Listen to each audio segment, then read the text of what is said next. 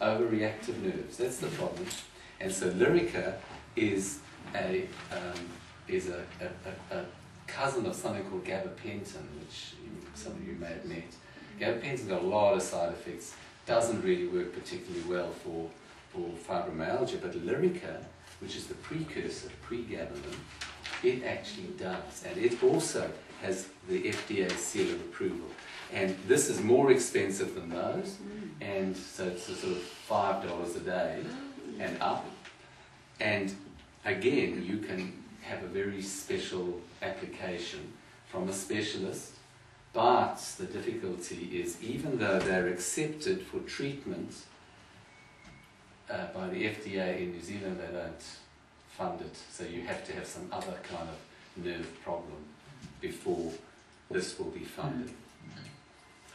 Those are the newer medications, really. And there's a, actually there's a whole raft. There's there's many others. There's um, but there's one fascinating one which has just come. This, this is so interesting about medicine is that uh, you start off with something for using a medication for something, and then years later it re pops up again, something else completely. And there's something called Pindolol. Now somebody, somebody says they know Pindolol? No? No. Pindolol is its other name is Visken, which is what's called a beta blocker. It works it's been used for blood pressure for years and years and years. It acts by blocking the effect of adrenaline. So, a lot of the problem with fibromyalgia is that your body is in a constant stress state. Mm.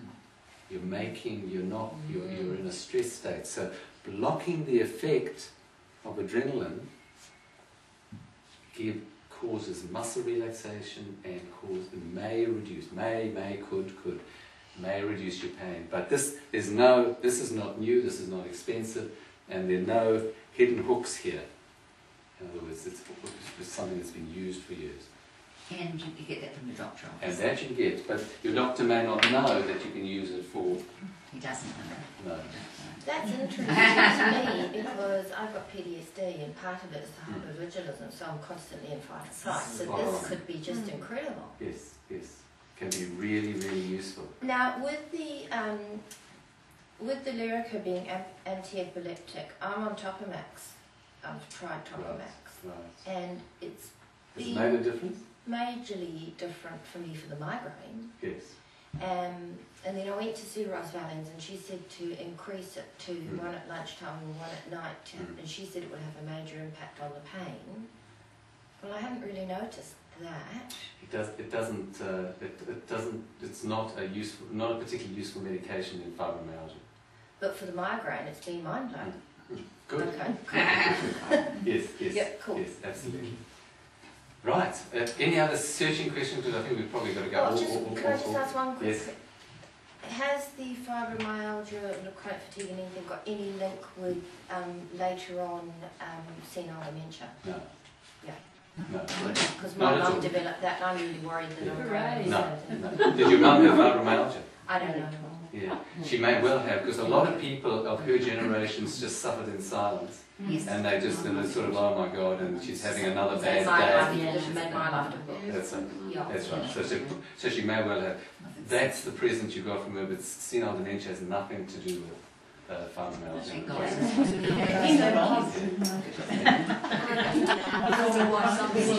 Sorry, just one last question, one for the road. Yes? Can you please tell me why some assessment doctors um, say that you've got psychosomatic and it's it's basically? Yes. It's because, must do a test on it. it's because they're ignorant. Exactly. Uh, uh, Thank you. Thank you. Thank you. It is. And in fact, before 1990, the, you know, when all the soldiers came back from the Second World War, and they all just kind of tottered back, and, and, and 30 to 40% of them had fibromyalgia. They had just this, which has now been seen again in the Gulf War and so on.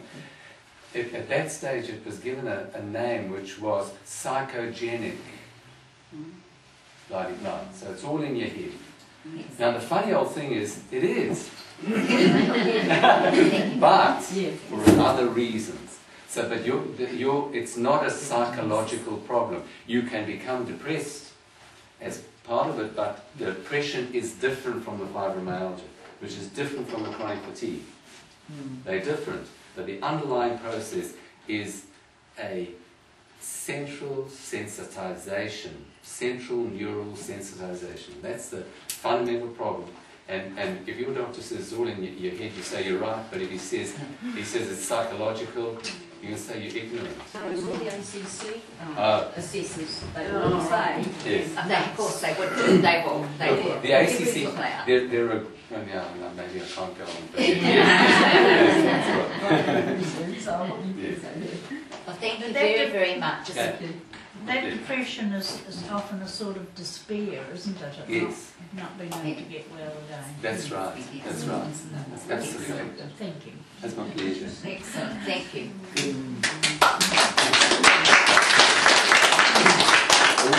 This is medicinal. Thank